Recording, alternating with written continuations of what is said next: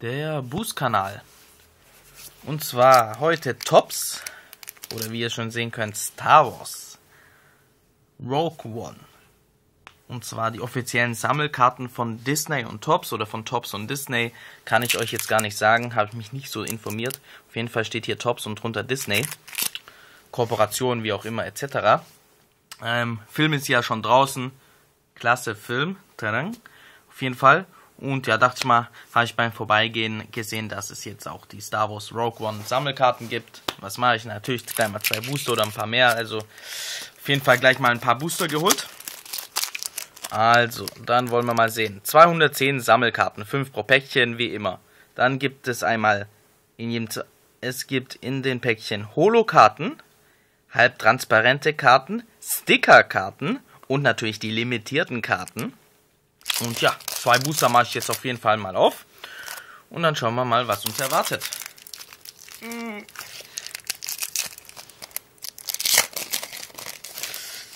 So.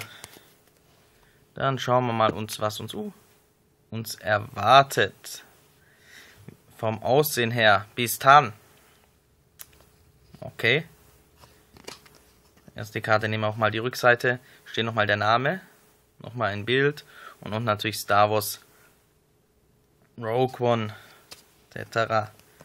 Gut, fangen wir mal an. Dann haben wir einmal Direktor Greenwich.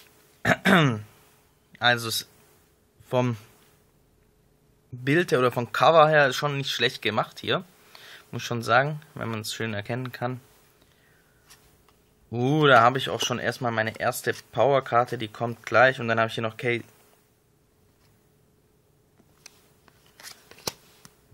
wäre so.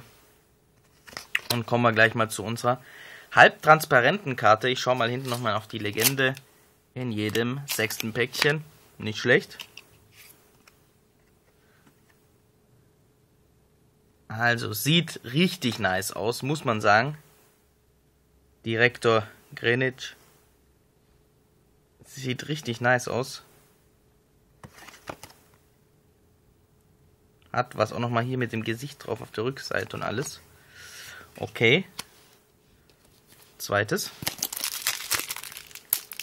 Ach ja, und ähm, falls ihr dann wieder fragt, warum ich nicht jeden Namen perfekt aussprechen kann, das liegt einfach nur daran, dass ich ähm, nicht der Mega Star Wars Fan bin. Mir gefallen die Sachen, ja, ich bin aber nicht der Mega Star Wars Fan. Ähm, auf jeden Fall ist hier ein Puzzleteil. Dann einmal Sturmtruppler. Also ein bisschen kenne ich mich aus. Das war es dann aber auch schon. Aus dem Movie. Nochmal ein Puzzleteil. Wo sehen die Puzzleteile von hinten aussehen?